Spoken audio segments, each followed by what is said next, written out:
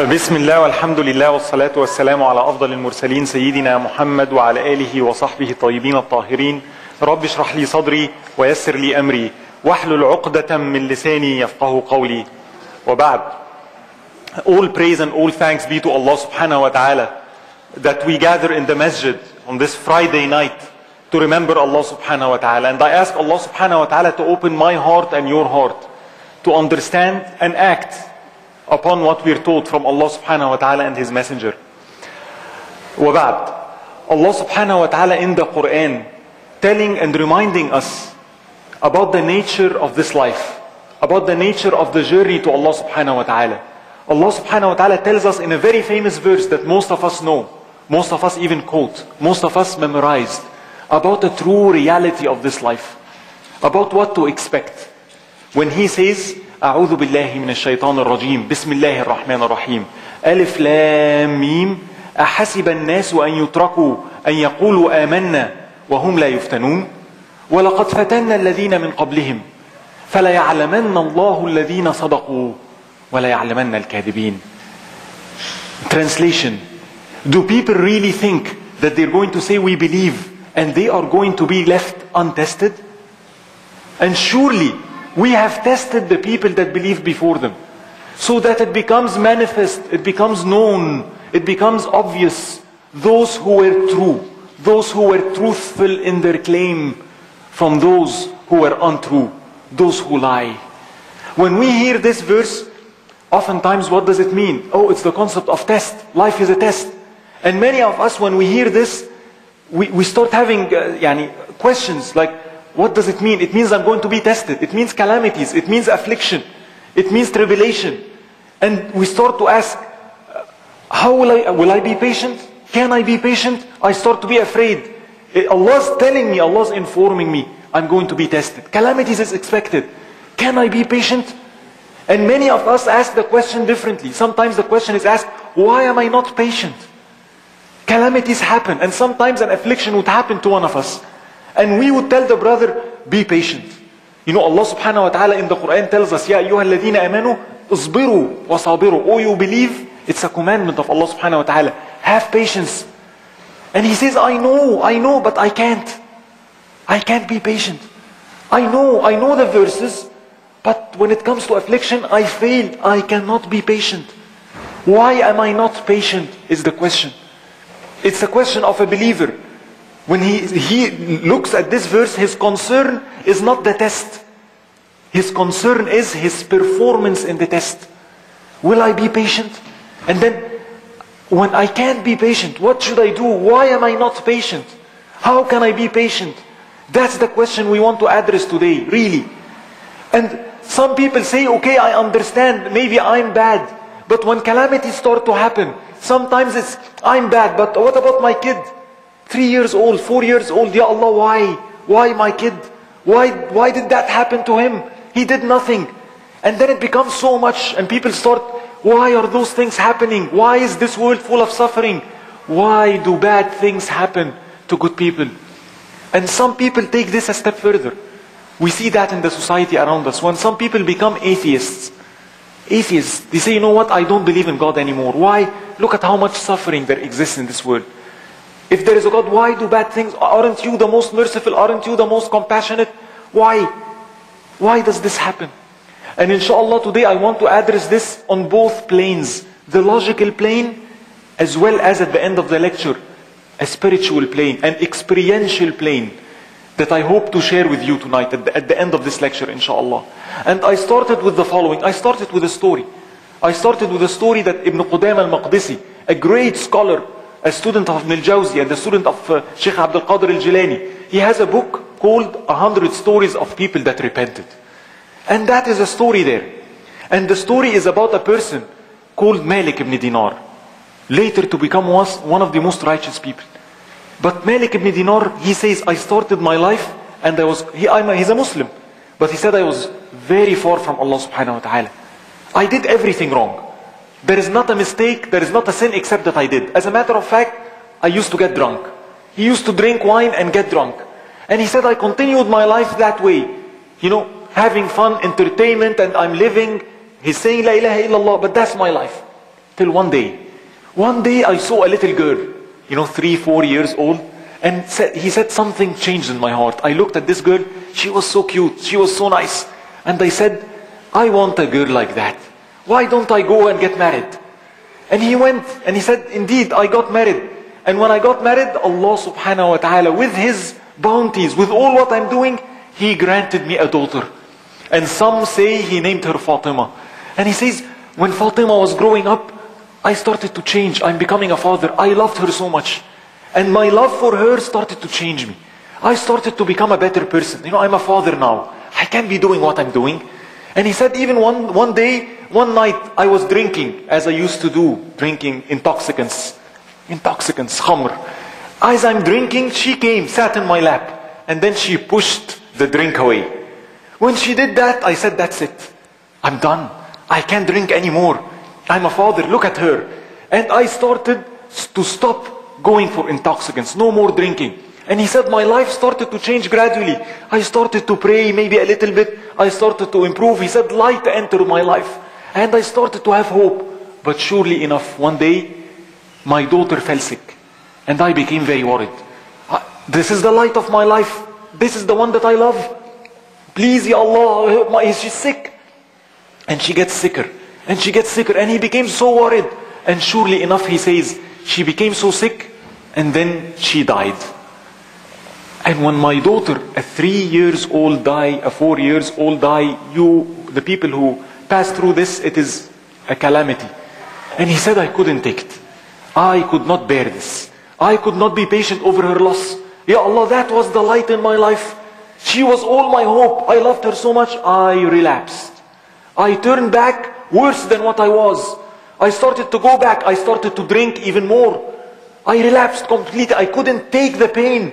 And he said one night, I said, I'm going to drink tonight like I never did before. And I started to drink, drink, drink, drink, until basically he zonked out. Completely drunk and I zonked out. And he said that night, I saw a dream. And in that dream, it was judgment day. And I was really scared. It's the day of judgment. And then all of a sudden, everybody was resurrected. And I saw everyone. The land is plain and everyone is resurrected. And I hear angels calling people by their name. And then one of the angels called my name. He said, Malik ibn Dinar. هلم للعرض على الجبار. Malik ibn Dinar, stand up. You're going to be displayed in front of the Almighty. God the Almighty. And he said, when I heard that, I was terrified. And then all of a sudden, all the people disappeared. And I was in this land and I look and I find a huge snake. And that snake opening its mouth, heading directly to me. I was so terrified. It's a huge snake. I started to run. And that snake is after me. And I run. There is nowhere to go. And that snake is going to catch me. And I find an old man. I go to this old man and tell him, please help me. Help, look, the snake, help me. And he says, I, I'm so weak. I'm so old. I can do nothing.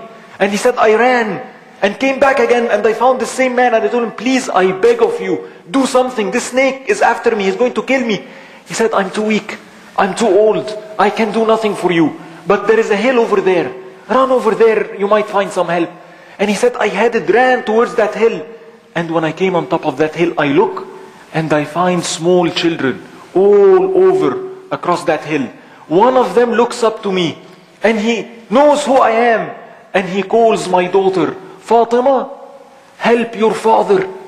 And then I saw my daughter, my three, four years old daughter. She came running up to me and she stood between me and the snake. And as the snake comes, she puts her hand up to the snake and the snake stops. And then she points to the snake, go back. And the snake leaves. He said, I was so terrified, so exhausted, I fell on the ground. And she came and she sat on my lap, the same way she used to do in the life of this world in dunya.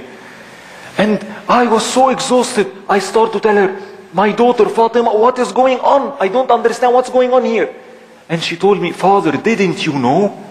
Didn't you know that our deeds that we do in the life of this world comes in the hereafter in a physical form? And the Quran says, Allah subhanahu wa ta'ala says, وَوَجَدُوا مَا عَمِلُوا حَاضِرًا On the day of judgment, you will find, I'll find what I'm doing present in front of me. And then she told him, that snake that you saw, they, that was your evil deeds. You made him so strong. You made him so powerful. You did so many of them. They were going to destroy you. As for that old man, that was your good deeds. You made him so weak. You did so few of them. And he couldn't help you. And when Allah subhanahu wa ta'ala saw that, and he saw that you're going to destroy yourself, he took me away from you when I was young, lest you be patient over my loss. And by your patience over the, my loss, Allah subhanahu wa ta'ala forgives your sins and admits you to Jannah. And then she told him, Father, isn't it time?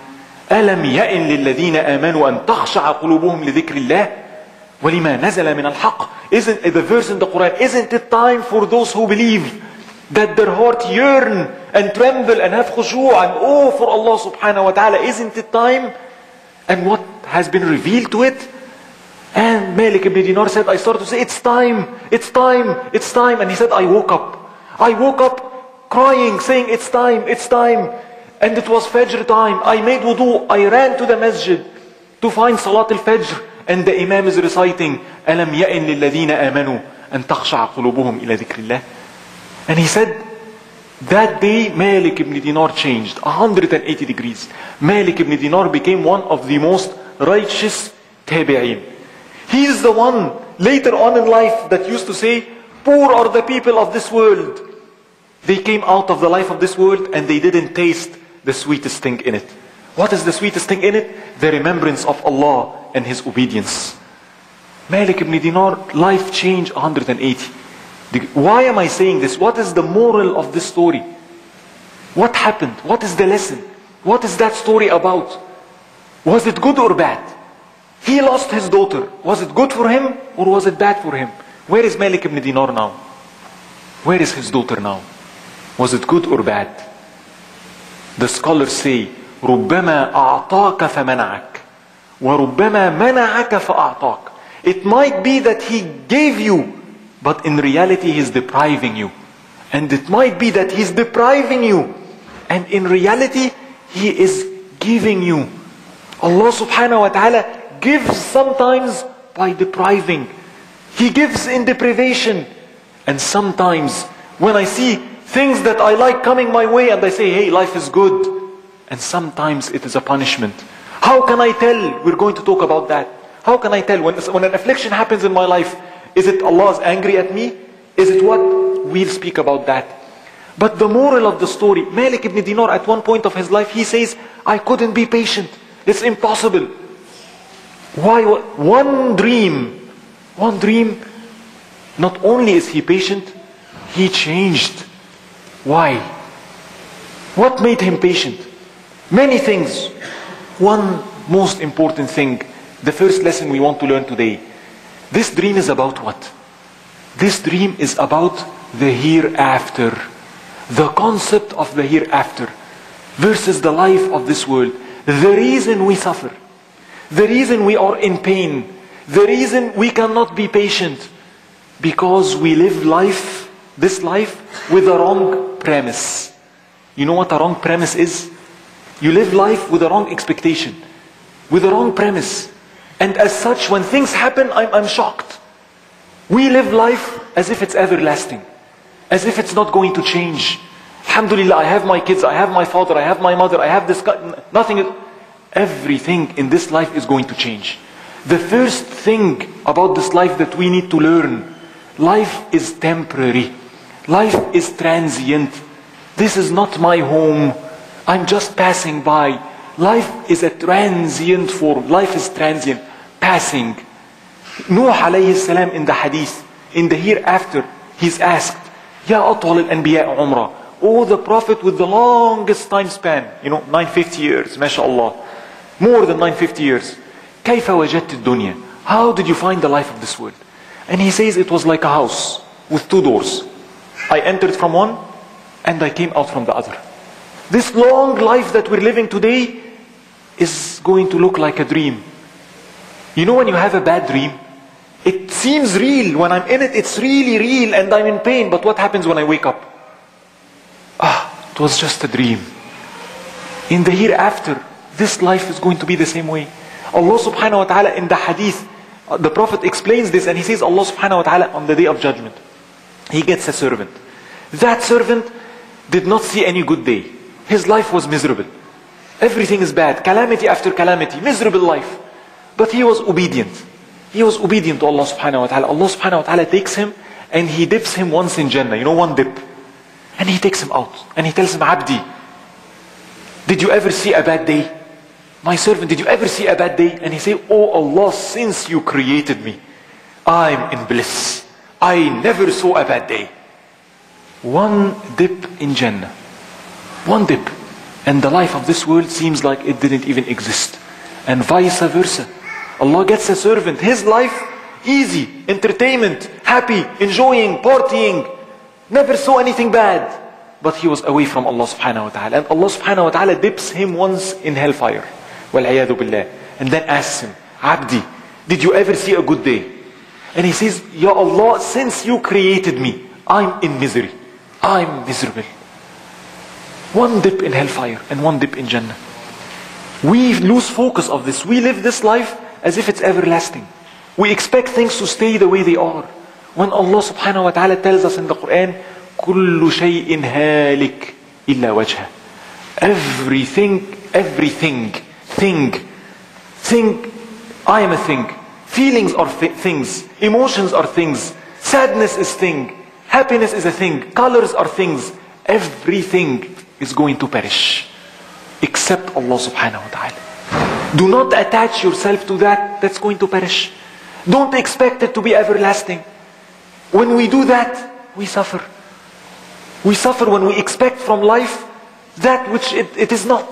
And some people say, yeah, oh Ya Allah, why? Why did you do that? And Ibn Ata'illah secondary explains it. Why Allah did this? Why did He, this life, why did He make it that way? And Ibn Ata'illah secondary tells us about the wisdom of Allah subhanahu wa ta'ala in saying, إنما جعلها محلا للأقدار ومعدنا للأغيار تزهيدا لك فيها أراد أن يزعجك عن كل شيء حتى لا يشغلك عنه شيء He made it a place of calamities, affliction, things that spoil. Nothing is perfect here. He made it that way. He made it a thing, a place of things that change.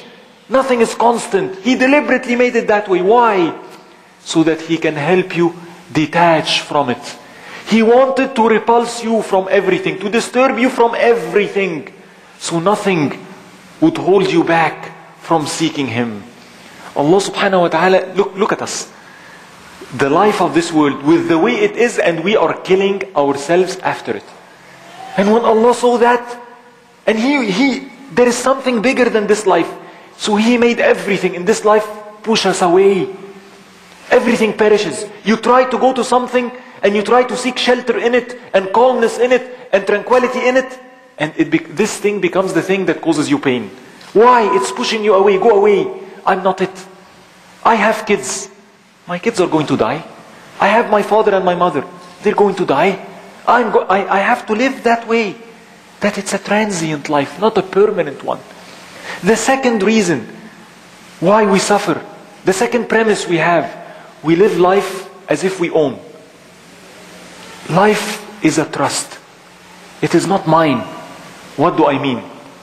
My body, my country, my house, my job, my intelligence, my family. You see the my, my. My? Do I own anything? This is a reality that we do not ponder. Nothing here is mine. I'm but a guest. You know when you go into someone's house and you're a guest and he tells you sit here, what do you say? Hadr. Don't go to that room. I won't go into that room. Why? It's not my house. If I enter into someone's house and start, you know, I don't like this masjid, let's paint it black. It's not your home. You're not free here. You are but a guest. And because Allah is so generous, because our host is so generous with us, and He gave us so much, we thought that we own, we own it. And when He takes it back, we suffer. You know, like my kids, sometimes, you know, I, I love my kids, and because I love them so much, I sometimes, you know what you do? You get them gifts. And I, I buy a big gift and I go to my son. Why? I want to give him the gift, but there is something bigger than the gift. My love. Look, I'm giving you a gift to show you what I love you. I give him the gift. What does he do oftentimes? He says thank you one time and then give me the gift. And you give him the gift. He takes the gift, starts opening the gift. And what happens? Oh, he loves it so much. And he starts focusing on his gift.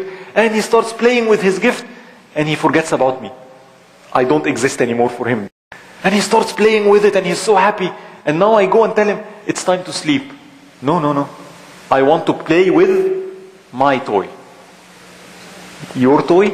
My toy. I want to play with my toy. Okay, it's time to go to school. No, I'm not going to go to school. Why? I want to play with my toy. Your toy? I brought you the toy. I'm my toy. And I'm not going to go to school. Now when I see this, I love him. What will I do? You need to go to school. Give me back this toy. And I take the toy away. When I do this, what happens? He starts to scream. Why did you take my toy? Your toy? And then he says what? You took my toy. You're making me suffer. Why are you making me suffer? Bad person. You took my toy. You made me suffer. Therefore, you do not love me. I do not love you. Because I took my your toy. It's I brought it in the first place. I don't and then he goes further. You took my toy. You made me cry and suffer. What a miserable life because of you. Why did you do that? Therefore you do not love me. Therefore you are not my father. Isn't that what the atheist does? Why did you take my daughter? Why did you make me suffer? Why did you don't love me? Therefore, you do not exist. Astaghfirullah. Astaghfirullah. Nothing is mine. The way I behave in calamities is a reflection of the way I was behaving in the time of ease. When I'm not patient in the face of adversities, it means I wasn't thankful in the time of ease. We are veiled by the gifts of Allah subhanahu wa ta'ala. We are veiled by the gift from the giver. Like this kid, I gave him the toy, but the toy masked him from seeing something bigger than the toy. My love. The toy is a representation that I love you. He couldn't see that. He could not see me. He was veiled. We see the toys of this life around us and then we think it's ours, mine, mine. It's never going to go away. And when Allah sees that and they're holding us back, Allah give it back to me. And wallahi we do worse. We take Allah's gifts and we use it against Him. Why are why am I why am I taking riba? Why am I make, getting interest? You know, unlawful interest. Why? Because Allah gave me money. Because Allah gave you money, you take interest. One of the sisters, Allah gave her beauty, mashallah. Now she thinks what? My hair, my body, right? My looks, my face. And because Allah made her beautiful, what does she do with it? How does she dress? What does she use that for? Are you disobeying Allah subhanahu wa ta'ala with His gift? And when He sees that, He takes it away. It's distracting you from the purpose of it. I'll give you a simpler example. Somebody, Allah subhanahu wa ta'ala afflicts him and he loses his job. It happens nowadays, right? Somebody has a job for 10 years and alhamdulillah, because he has a job and because he's making so much money, is he doing dhikr? No. Is he coming to the masjid? No. He's busy. And Allah subhanahu wa ta'ala sees that. So Allah subhanahu wa ta'ala, after 10 years, and he thinks, khalas, it's, I'm the CEO, it's my company. Lay off. He's laid off. I'm laid off. Oh, but you know what? I'll, I'll find another job. What happens? When I'm laid off, when a calamity afflicts me, how do we act? And look at this. This person would start doing what? Okay, let me go contact the, the people I know. Let me apply here. Let me do this. Let, he starts relying on himself. And Allah makes it fail. And it fails. And then he says, okay, I'll talk to people. I know other people. They'll help me. So now when I fail, I go to people. And he goes, contacts this brother and that brother and this and that and that. And Allah makes it fail. No job, no job, no job, a calamity. You, and he's threatened now. How will I pay, pay my rent? I don't have a job. What will I do? It is very difficult. There is no other alternative. And he comes to the masjid. And he says, Ya Allah, please. He made Allah the last. And look at that. He didn't start by Allah. Allah, when everything else failed, I don't have a job, I want a job. He starts coming to the masjid and one brother tells him, do you want provision? I can help you. I know something for you. What? And he says the Prophet sallallahu alaihi wasallam informed us, من قال في اليوم مئة مرة لا إله إلا الله الحق المبين. Whoever says in, in his day, لا إله إلا الله الحق, the truth, المبين, the manifest. Allah subhanahu wa ta'ala gives him four things. One of them, وقي الفاقة. He would be protected from poverty. I want that. And then the second one, واستجلب به الرزق. He would attract with that his provision. You can attract your provision. Did you know that? If, you, if I lack in provision, I can attract provision to me by saying La ilaha illallah al-haqq al-mubin a hundred times every day. Now that brother does what? Really? Let me try it. Every day he's sitting in the masjid, La ilaha illallah al-haqq al-mubin. La ilaha illallah. Look what's going on. Did you say La ilaha, did we say La ilaha illallah today? Many of us, no. Why? You know the value of La ilaha illallah? When Musa alayhi salam asked Allah subhanahu wa ta'ala, a prophet, Ya Allah, teach me something, something to praise you with. You a special dhikr, a special dua for your prophet. Something really special. And Allah tells him, Ya Musa, قل لا إله إلا الله. Oh Musa, say لا إله إلا الله. Ya Allah, everybody says لا إله إلا الله. I want something special. Yani this is... And Allah says, Ya Musa, if La ilaha illallah was to be placed on one side of the balance, and the heavens and the earth and all what's in it is to be placed on the other side, La ilaha illallah will outweigh the heavens and the earth. Allah subhanahu wa ta'ala gave that person something. He took his job. He took it so he can give him something that is worth more than the heavens and the earth. And now, because he needs a job, what happens? Every day he's saying La ilaha illallah. And look at the continuation of the hadith. We said four things. The two other things are even more important. What are they? If you say La ilaha illallah al-haqq al-mubin a hundred times, you're knocking on the doors of Jannah.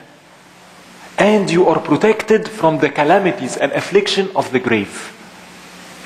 I need that. But you know what? Say La ilaha illallah al-haqq al-mubin. What happens? No, I'm busy. And when Allah sees that, and Allah wants to give me not only a job, He's going to get a job, but He's going to be protected in His grave. He's going to get Jannah. So Allah deprives to give. And sometimes we don't understand the blessings of Allah subhanahu wa ta'ala. And that is why Allah subhanahu wa ta'ala takes them away. Now, another important concept that follows this the reason we suffer. You know why we suffer? You know why Malik ibn Dinar was patient? Very interesting. We suffer because we do not understand why we're tested. إنما يؤلمك المنع لعدم فهمك عن الله فيه. Deprivation, calamities causes pain. Why? Because I do not understand what Allah wants in it. إنما يعينهم على حمل الأحكام فتح باب الإفهام. What aids people To bear the afflictions of Allah subhanahu wa ta'ala is when He opens the gates of understanding. What does that mean? Those are scholarly words that are very deep. I'll give you a practical example of what we mean. Did you ever have a, yani, a tooth pain? You know, may Allah protect us. Not a pleasant experience. You know, the, the dentist. Ah, my teeth is, my tooth is hurting so much. It's painful. And what do we do? When my tooth is hurting so much, I go to the dentist, right? I go to, because I understand he's a dentist. Imagine a person who, whose tooth is hurting and he doesn't know what a dentist is. He doesn't understand. He does not comprehend what a dentist do. And his tooth is hurting, so I come and tell him, go to that man over there, he's a dentist. And he doesn't know what a dentist is. Say, okay, I'll give it a try. And he goes to the dentist. Ah, the dentist tell him, sit here. He sits, open your mouth. I open your, you open my, your mouth. Which tooth is hurting? Ah, that one. Okay. And he, this person sees the dentist. The dentist gets what? The needle, you know. He starts getting the needle and the man is, what are you going to do with that needle? I'm going to put it in your mouth. Are you crazy? I'm telling you my teeth is hurting and my tooth is hurting and you want to put a needle in my mouth? Are you nuts? What are you doing? No, no, you need it. No, I don't. Yes, you need it. No, I don't. Open your mouth. No, no, no, don't do this. This is bad. And then he gives him the needle. And when he does, it hurts. So this man starts doing what? Screaming. You are crazy. What are you doing? This is very painful. Are you? Well, and he leaves. He leaves and he goes away. Starts now telling everyone, what a crazy man. Never go to that man. I told him my tooth is hurting and he gave, put a needle in my mouth. He's crazy. This person failed to be patient. This person, as a result of that, will live his life in pain. Will never be cured. And worse, he live his life thinking that the dentist is cruel. The dentist is, is a criminal. Right? Never go to him. He's the worst person to go to. On the other hand, why do I go to the dentist? And when he tells me open your mouth, I don't like it, do I? I don't. I don't want even to go there. But I go. Open your mouth. Harder. I see the needle. I, okay. And he puts the needle. It hurts, but oh, okay. And then he starts pulling my tooth. And I'm still patient. And the best part of it, when he pulls out my tooth, and ah, oh, it hurts, alhamdulillah, and then I tell him, thank you, doctor. You're thanking him for pulling out your tooth? Yes. Why? Because I understand what he's doing. I trust this doctor. I have confidence in what he's doing. I'm not a doctor. I don't know what's in that needle. But I trust he knows his job. I know him. Especially if I know that he cured a hundred people before me. The fact that I see that he cured a hundred people before me enables me. When he tells me open your mouth, I open my mouth. Take this medicine, I take this medicine. We do not know Allah subhanahu wa ta'ala. Therefore, how can we trust Him? When an affliction comes to our way, we see the affliction. We do not see the doctor. We do not know Him. We claim we know Allah subhanahu wa ta'ala. We're not confident in Him enough. We do not trust Him enough. We lack understanding of what He's doing. And this veil makes it very hard for us to be patient over His decrees. And that is why, one reason why we're not patient. The first one we said what? Life is transient. The second, life is a trust. We have to live life that way. The third, life is a test. Life is a test.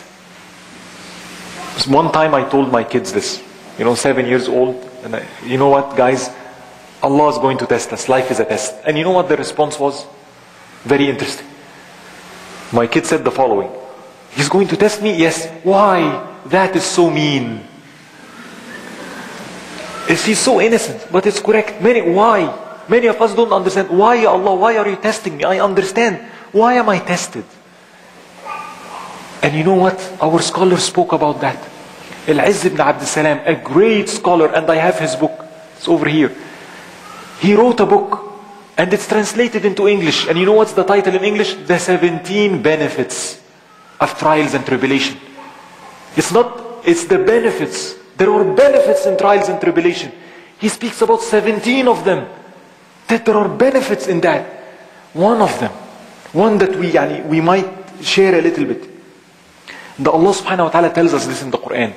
وَلِيَبْتَلِيَ اللَّهُ مَا فِي صُدُورِكُمْ وَلِيُمَحِّصَ مَا فِي قُلُوبِكُمْ The purpose of a test. The test, tests are directed to my heart. Why? So Allah subhanahu wa ta'ala will bring out what's in my heart. What do you mean?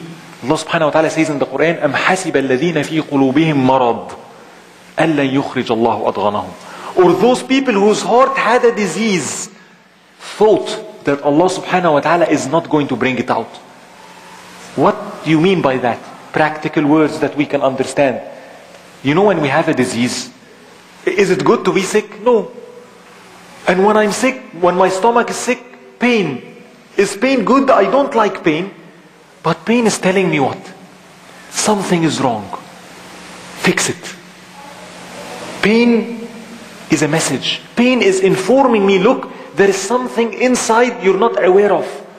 Pain is a message. Stop. Stop what you're doing. Something is wrong. Look at it. Fix it. The worst type of disease is which disease? You know, may Allah protect us all. When somebody has cancer, the worst type of cancer is one that has no symptoms. There is no pain associated with it. Why? Because if there is no pain, I do not know I have it. And when I do not know I have it, I continue living my life the way I am, thinking I'm good, till it eventually kills me. My heart too. My heart can be sick. My heart can have ailments and diseases. And many times we are not aware of that. A person might think, you know what, I'm very modest person. He's not modest. Allah knows he's very arrogant. The only reason he's modest is because he does not have any wealth. He does not have any status. And Allah sees his heart is full of arrogance. And that's going to destroy him. And he's unaware of it. Allah wants to bring that out. So he tests this servant. How will he test him? To bring arrogance out, he's going to test him by giving him. Take wealth. Take ideas. Make 20 patents. Be the CEO of a company. And all of a sudden now this brother becomes what? A CEO. And arrogance shows. What's happening? Allah subhanahu wa ta'ala tests us so that's what inside of my heart comes out. And when I realize that, it, the message is fix it. Fix it. Fix that problem. It's going to kill you. So when I'm tested, the very first thing I look at, what came out? What, how was my performance? What did it show me in me? Even when I fail in it, a failure in a test is not bad. When we go for a driver license and you, you take the exam and you fail, what happens? They give you another chance. Is that bad? No. And they will keep testing you. Testing you till what? Till you pass. And that is why sometimes a brother is afflicted, but he doesn't get it. Allah afflicts him, but he doesn't see what's going on. So Allah afflicts him again.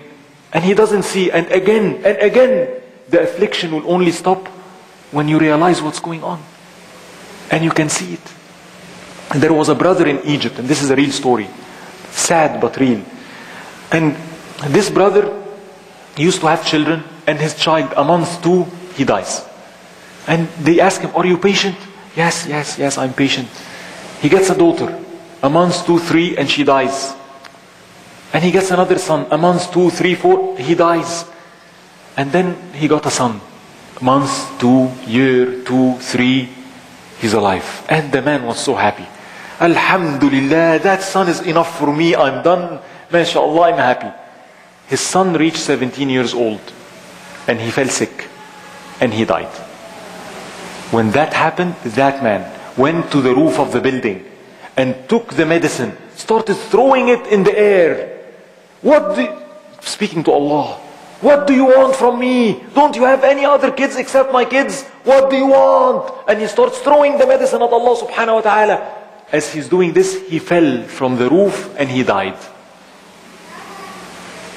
What is the moral of this story? One of us might say, Why, Ya Allah, why did you do that to him? You know what's going on here? He had something in his heart that Allah saw. He was never content with Allah subhanahu wa ta'ala. He was always angry against Allah subhanahu wa ta'ala. And Allah wanted that to be manifested. And when his first kid died, he said, I'm patient. But in reality, he's not. And Allah sees that. And instead of curing himself, he didn't. He continued. So Allah tests him again, and tests him again, and tests him again, till what's inside comes outside. The purpose of a test, one purpose is to bring what's inside outside, so I can fix it. I want to share with you, yani, and we'll close with this, a spiritual reason. Sometimes, yani, why am I not patient? Why does Allah test us? Why am I suffering in the test? Why? Some people, when they're tested, not only they're not suffering, they're happy. They don't even feel it. Is that true? Yes, it's true. And by the way, that's the sign. When we ask, when we ask ourselves, how do I know? When a calamity befalls me in my life, is Allah angry at me? Is, how can I tell? And the response of the likes of Sheikh Abdul Qadir al-Jilani, to know, look at your own response. When you're afflicted with something, what came out? And he says, if you found it's anger, more means, more agitation, you went to, you, more anger, that's a punishment from Allah subhanahu wa ta'ala. And if what came out that I'm in pain, I'm, it's painful, it is very painful, but I'm trying to be patient. Trying to be patient, showing patience. That is expiation of sins. And if you found what came out is that I am content, I am happy, that means Allah subhanahu wa ta'ala is elevating you in ranks. Is it, is it possible that Allah subhanahu wa ta'ala will test someone like me and I don't even feel the pain? The test would come and it's daylight for me. I am at ease. That is the concept of rida. Being content and happy with Allah subhanahu wa ta'ala. Now, a practical way before I can continue. The Prophet sallallahu alayhi wasallam told us this. He said, من قال في في اليوم ثلاث مرات whoever in his day three times in the morning three times in the evening would say رضيت بالله ربا وبالإسلام دينا وبمحمد صلى الله عليه وسلم نبيا ورسولا كان حقا على الله أن يرضيه whoever says three times in the day three times in the evening I accept and I'm content with Allah as my Lord with Islam as my deen and Muhammad as my prophet Allah subhanahu wa ta'ala, it becomes the right on Allah subhanahu wa ta'ala to make that servant content. The question is, am I saying it? Uh, if I want to be content in the time of hardship, I should be saying those things in the time of ease. The way I am in the time of ease is going to show in the time of hardship. And here is a more spiritual answer that I, I hope yani, we can share today. If I was to give you a practical example, you know, and I tell you, you know what, there is one, one of our brothers, he has full paralysis, completely paralyzed. May Allah protect all of us. Completely paralyzed, cannot move. Can you take care of him? Can you take him to your house and take care of him? Is that a good deed? Yes. Can I do it? Many of us will say what? Uh, well, I know it's a good deed, but can I do it? Uh, no. I can be patient over that. What does that mean? I have to feed him. I have to clean him. I have to change my car. I have to take care of him. Can I do that? Uh, brother, I cannot be patient over this. Yes, it's good. I understand. But can you do it? No. But the question is even further. Can you do that? And while you're doing that, you are happy? You are not even, yani, you're happy with it. Can you do it while you're thankful? Oh, now you're asking too much, right? Is it possible? Can you see yourself doing this? I look to myself and say, I, it's very difficult. But I tell you something, most of us sitting here are doing this already. Really? Yes. Those of us who have kids, when Allah subhanahu wa ta'ala gave us a baby, how was it? Was, he was completely unable to do anything. I had to take care of him. I had to give him a bath. I had to change his diaper. I had to change my car and forget sleeping at night. Right? Yet while I'm doing that, am I suffering? No. As a matter of fact, we say He's the coolness of my eye. He is the best thing in my life. Ya Allah, thank you for giving me that baby. What enabled me to be so much patient with that? What made me able to handle this affliction? Somebody else who never experienced love before, never ex- experiential, he didn't taste it. And argues logically, how are you doing this? This is an affliction. I tell him, what are you speaking about? This is my kid, this is not affliction. I love it, and how can you love it? You will only understand if you were given the gift of love. So, Allah subhanahu wa ta'ala gives the kids. The reason we can bear it, the reason we're happy in it, is when Allah subhanahu wa ta'ala gave us the, the kids, He gave us the provision for it. And the provision for the kids is what? Love. That is our problem. When we're afflicted, hunger, very simple example. Is hunger bad? If you feel hungry, is it bad? Oh, it's very bad if you don't have food, right? But if, if I'm hungry and my fridge is full of food, is it bad? No. Alhamdulillah. When I'm hungry, I have provision for it. The problem is if I gave you money and instead of filling your fridge with food, you got your money and spend it elsewhere. And then you feel hunger and you open your fridge. And what happens? The fridge is empty.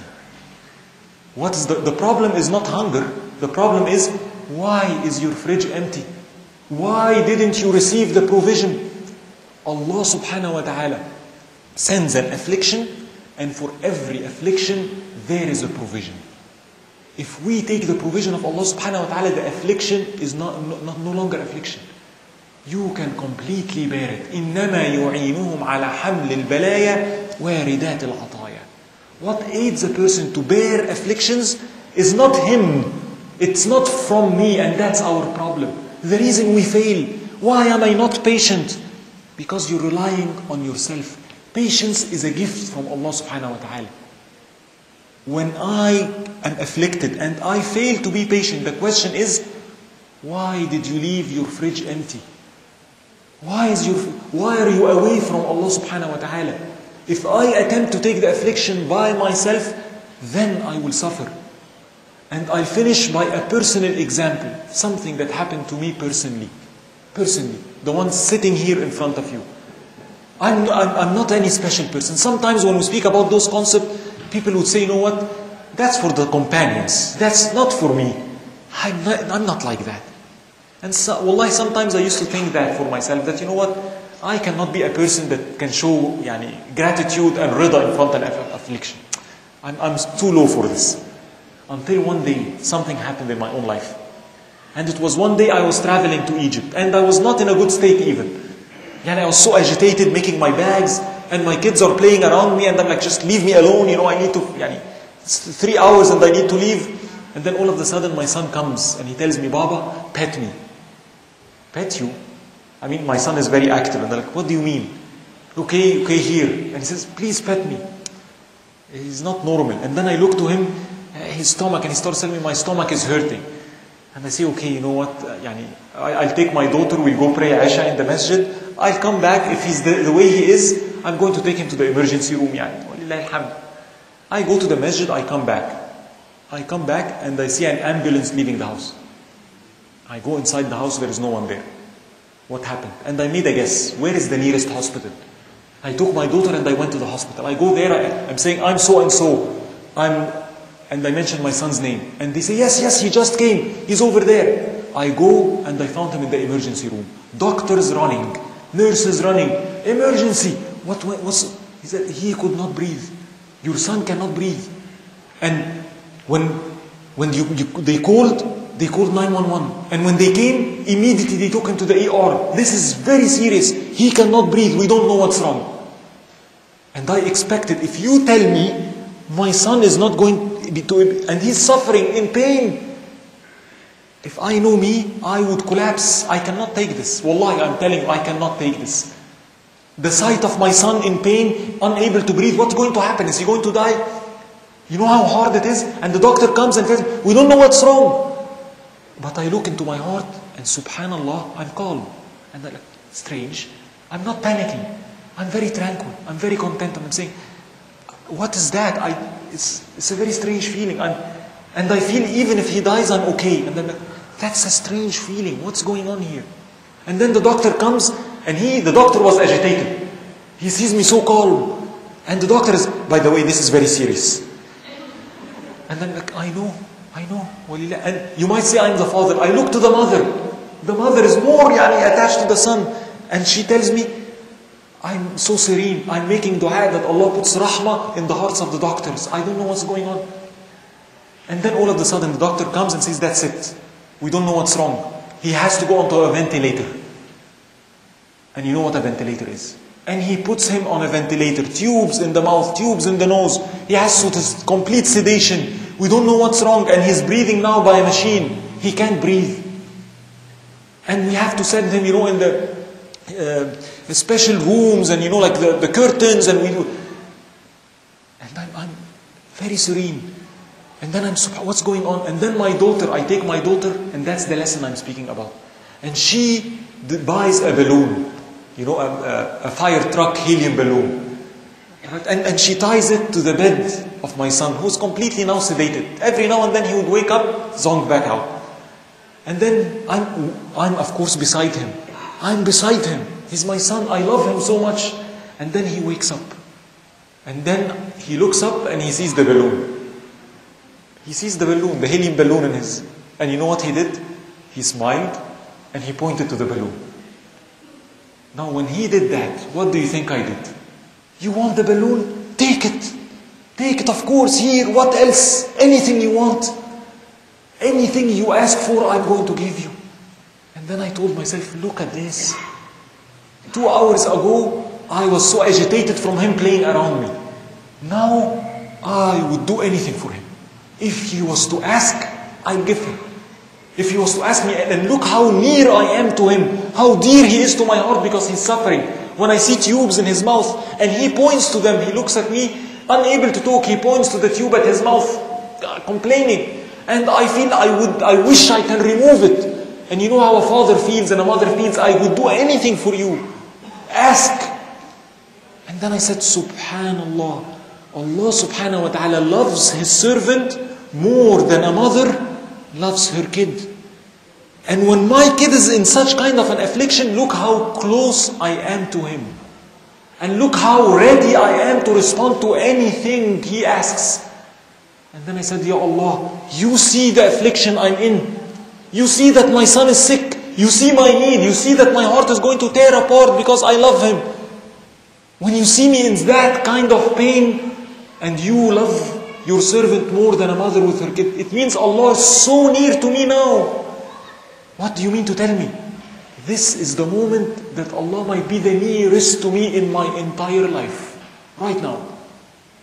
And I was like, Subhanallah. And then it occurred to me, if I was to ask now, what happens? Like my kid, imagine, and I thought, imagine if he wakes up and instead of pointing to the balloon, he told me, Baba, I want one thing. I'll tell him anything you want. And he said, Please forgive me because I was not a good kid for you. What will come out from my heart? In that condition, in that condition, and what you care for is what? Instead of telling me, help me, you told me, forgive. Of course, I will forgive you. You think what will come out from my heart in this moment? And then I said, Subhanallah, if in this affliction, while I'm in that affliction, I turned to Allah subhanahu wa ta'ala and told him, Ya Allah, I can say, please cure my son. But instead, Ya Allah, please forgive me. Please forgive him. If my son in that position, instead of asking for the balloon, said, Baba, please get a gift for Aisha, my daughter. What do you think I'll do? I'll tell him no? Of in that moment, while you are in this position and you are thinking of your sister, this request will be granted. Will be granted. Of course, I'll give her anything. You just ask. And I started to say, Subhanallah, if in the midst of the darkness of this calamity, I just raised my hands and said, Ya Allah, Ya Allah, please help our brothers in Iraq.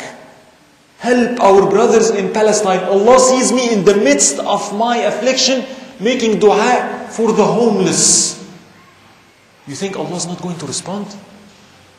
Not only will Allah respond, how will He treat me? How close will I be to Him? And I started the nearness of Allah subhanahu wa ta'ala. My thoughts were completely in how can I thank? How can I take maximum opportunity? I started, I need to pray. I need to be in dhikr. This is nearness of Allah subhanahu wa ta'ala. I remember those were some of the best nights in my life. Ever. I couldn't sleep that night. Wallahi, I couldn't sleep that night. Praying, making dua. And it was the California fires. Remember the California fires? Out of the hospital, I can see the fires. Beside my house. And, and I start making dua for the people. And it was one of the best experiences I ever had. What is the lesson? It didn't come from me. It's not because I'm good. And I started saying, Ya Allah, that is a gift. And I started to ask the question, why? Why, Ya Allah? Why me? But the question was, why do good things like this happen to bad people like me? And the answer is because He's generous. Yes, Allah subhanahu wa ta'ala, I came out from that experience assured if Allah gives the like of me this, He can forgive all your sins. Wallahi, I'm telling you, my hope in Allah multiplied. All of you can be forgiven. If the likes of me can be given this, the likes of you can be given even more. Do not despair from the mercy of Allah. And I realized what made me able to bear the affliction was what? That I saw Allah's nearness. When I am in sight of Allah and His presence and His nearness, when His light enters my heart, there is no affliction anymore. The reason we suffer is we are veiled from seeing Allah subhanahu wa ta'ala. When I attempt to bear the affliction by me, I fail.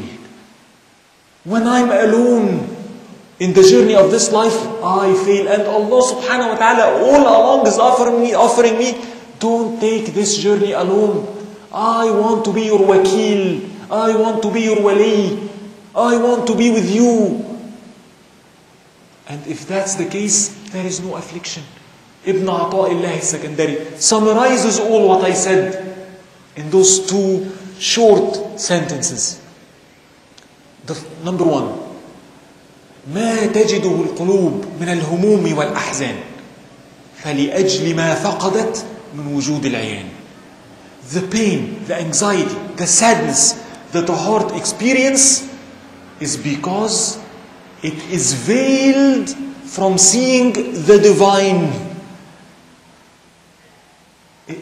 This veil is what causes me pain. He says, النعيم وإن تنوعت مظاهره فهو بشهوده واقترابه والعذاب وإن تنوعت مظاهره فهو لوجود حجابه فسبب العذاب وجود الحجاب وتمام النعيم بالنظر إلى وجه الكريم.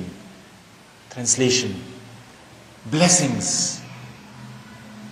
Enlightenment. Ease, happiness, joy Even if it is its ways are multifold, so many ways, it is essence is being in sight and close to the divine. Pain, anxiety, sadness, even if it is methods are multiple in this life, it is core essence is the existence of a veil between my heart and Allah subhanahu wa ta'ala. I'm by myself, I'm alone. I'm away from Him, I do not see Him. And He says, the essence of pain is the existence of the veil. And the utmost pleasure is when we get, get and we are granted the sight of the most generous in the hereafter. And isn't that true? That is the essence, if you will, why we suffer from a spiritual perspective. Because we do not see who's afflicting us. We are not aware of Allah's presence. Our heart is veiled from Him. We do not receive His gift. Receive His gift. Our fridge is empty. We live our life far from Him. So when an affliction comes, we discover, I don't have anything. My heart is empty. Patience is not from me. Allah subhanahu wa ta'ala says, وَاصْبِرْ وَمَا صَبْرَكَ إِلَّا بِاللَّهِ have patience. And your patient is, patience is not except by Allah, with Allah, not from you. Do not think that you can bear the affliction alone. And I understand. I'm telling you this right now. Look, the mother, if I, something amazing happened to her, she was in such a bliss while my son is sick. And she was, at the time, she was the head of the Sunday school in our masjid. And she had to skip Sunday school. And the board of the masjid came to the Sunday school. It was a chaos there.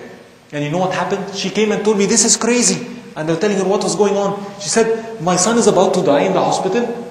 And I'm okay. Completely okay.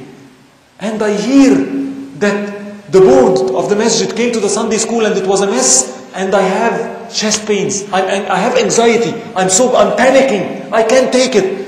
How can that be? I'm patient over my son and I'm not patient over something as neg- yani, no comparison. Wow, what's going on? And the answer is very simple. That tribulation Allah carried from you. You didn't feel it. The other one, Allah subhanahu wa ta'ala left you for yourself and you felt the pain. The lesson of this is what? Don't wait. We do not wait till an affliction happens and why am I not patient? From now on, I, the opportunity is now when I am free, when I am at the time of ease. My concern is, am I close enough to Allah? So when the affliction happens, I'm by Him, I'm with His light. If that's the case, there is no affliction. The Prophet summed it up. عَجَبًا لِأَمْرِ الْمُؤْمِنِ Amazing is the affair of the believer. And that's the meaning of the hadith. When something bad happens to him, he is patient. He has the provision for it. So it becomes good for him. When something good happens to him, he has the provision from Allah for it. He's thankful. And that is good for him. Everything becomes good for that person. Everything. Every single thing. Summary. What can we go out with from all this? Practical things to do. What did we say today? We have to live life the way it is, not with the wrong premise. Life is temporary. Everything is going to go away. That means every single moment I should, I should be grateful for. Grateful for my kids, grateful for my parents, grateful that I'm safe in this masjid today. And that will help me bear the affliction. And I should expect everything will change. I live that way. Two, I do not own anything, including my kids, including my father, including my body parts. I do not own any of them. They, they are blessings given to me. I should be thankful for them. Allah can take them anytime. I always ask Allah subhanahu wa ta'ala to remove affliction from me and thank Him for what He gives me. Nothing is mine. My place, you know, my country. People tell us, oh Arabs, go back home where you belong. And sometimes I would respond by saying, I'm trying. Allah, I'm trying because this is not my home. This is not my home. My home is Jannah. That you were born over this piece of dirt makes it yours. You think this is your country? You know how ridiculous that is? You think you own it because you were born on it. It's not yours. It is not mine. My house is Jannah. I live looking at Jannah. We are not patient because we don't have ihtisab. We are patient over tribulations, going to school, going to a PhD program. Why? Because we see what the outcome is. Did we think of Jannah? Do we know what lays ahead in Jannah? Are we living in it? Are we imagining it? If we're not imagining it, if we're not imagining our home, if we do not focus on our home, this becomes my home. And when it's taken away from me, I collapse.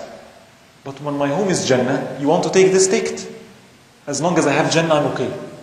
As long as I'm saying La ilaha illallah, I'm okay. As long as I am following the Prophet, I'm okay. As long as I have the love of the Prophet, I'm okay. I'm okay. We start making dua. Remember, La ilaha illallah al-haqq al-mubin a hundred times. رضيت بالله ربا وبالإسلام دينا وبمحمد صلى الله عليه وسلم three times in the morning three times in the evening now do not wait do it now and the person might say oh brother I keep making dua but the affliction is not removed why a person one time had an affliction in his life 20 years making dua Ya Rabb Ya Allah please please please nothing happens and the person mocked him he went by why are you making dua he said I, want Allah to remove the affliction You've been making dua for 20 years, you've been asking Allah for 20 years, nothing happened. And that person said, you know, he has a point. Nothing happened. Why? And he said, you know what? Let me stop. Maybe Allah's angry, Allah's not responding for me. Where I've been doing the dua, no response. And he slept. And he saw in the dream he was called on. Why did you stop making dua? We don't hear your voice anymore. And he said, I've been asking, I've been making dua for 20 years. No response. I didn't get anything. And he was told the following. You making dua for 20 years is your response. You understand that? You making, what did you say? You've been making dua for how long? 20 years of dua. That is better than what you've been asking for. Allah responded to you already, but you didn't even realize. You get it? So we say those things, we say our adhkar, we say our dua, never give up. In the face of affliction, now, the third point is what? The concept of patience is not from me. Therefore, I have to beg Allah subhanahu wa ta'ala, Ya Allah, grant me patience. Ya Allah, grant me thankfulness. Ya Allah, do not leave me alone. In aqamaka thabat, wa in qumta bi nafsika saqabt. Abu Madian used to say, if Allah makes you stand up, you'll never fall. And if He lets you fall, if He leaves you to yourself, you'll always fall. I want to be by Allah. Never, ever, ever by myself, Ya Allah. Don't leave me to myself. The dua of the Prophet. Ya Arham al-Rahimin, when he begs Allah wa ta'ala, برحمتك أستغيث, with your mercy do I plead, لا تكلني إلى نفسي طرفة عين ولا لأحد من خلقك. Do not leave me to myself the blink of an eye or to any of your creation. I need to show that. I need to admit that, that I'm weak. I'm weak. The final point. Life is a test, and the test is to bring what's in my heart out. What does that mean? What is the practical uh, um, impact of that? I do not have to wait to, for Allah to test me to discover that my heart is ill. From now on, I start by saying, My heart is already ill. Ya Allah, I have illness. I start by admitting that, Allahumma tahhir qalbi min maswak. Oh Allah, purify my heart. I start now. Now, do not live this life thinking, I, I don't have envy. I'm patient. I'm not arrogant. How do you know? How do you know? Rather, ask Allah and name them. Purify my heart from envy. Purify my heart from arrogance. Purify my heart from miserness. Purify my heart from everything other than you. Even in the time of ease. يعني أقول قولي هذا وأستغفر الله لي ولكم and I ask Allah subhanahu wa ta'ala, we always ask Allah subhanahu wa ta'ala to elevate bala. We never wish for it. We never wish for tribulation. I'm weaker than to handle it. We always ask Allah subhanahu wa ta'ala for afwa and afiyah. May Allah make us all safe. May Allah subhanahu wa ta'ala remove adversities and diverse and calamities from our life. May Allah subhanahu wa ta'ala attract us to Him through ihsan. Through ihsan, that we realize His ni'am, not through tribulation. And if you have any question or any reflections, يعني maybe in five minutes or so, I'm ready to take them, inshallah. It's up to you, inshallah. Yes, please.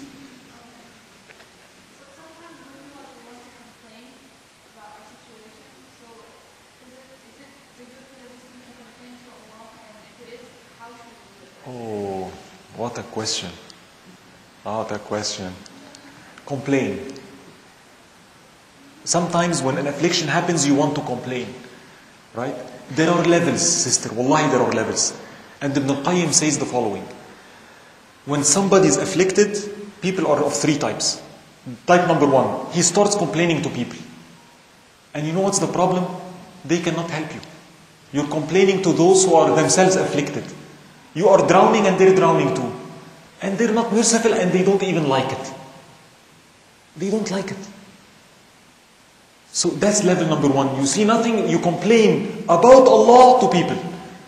And that's not recommended. We do not do that.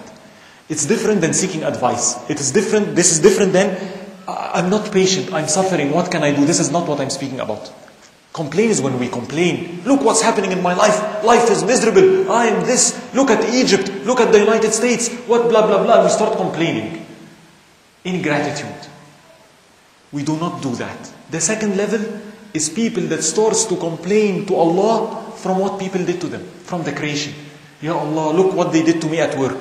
Ya Allah, look how people are treating me harshly. Look what he did to me. Look what she did to me. Look what my husband did to me. So I'm complaining to Allah from the creation. And Allah loves that. And the third level, and I hope we reach that, is people that they, they realize the essence of it, is me. People that complain to Allah from themselves. Ya Allah, to you I complain, I'm not patient.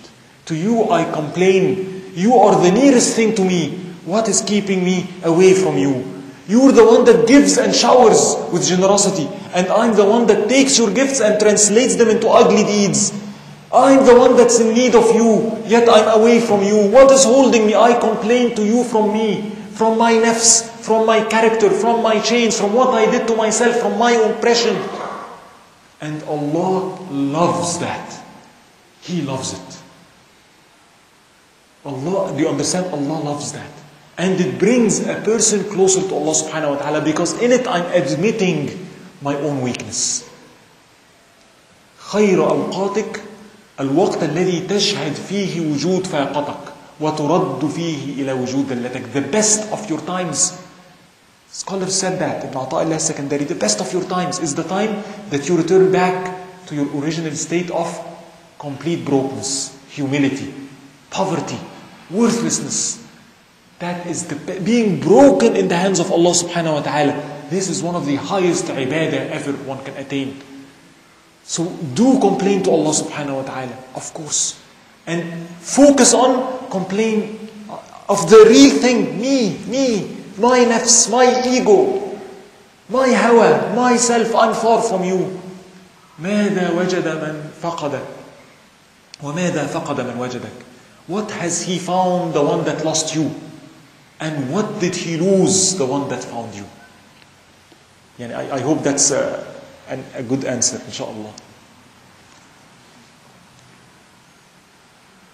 No other reflections I, I can benefit from your reflections as well and uh, يعني, uh, feel free after after we finish if, if you have anything you want to tell me if I did say something wrong if you have please let me know سبحانك اللهم وبحمدك لا إله إلا أنت نستغفرك ونتوب إليك والعصر إن الإنسان لفي خسر إلا الذين آمنوا وعملوا الصالحات وتواصوا بالحق وتواصوا بالصبر جزاكم الله كل خير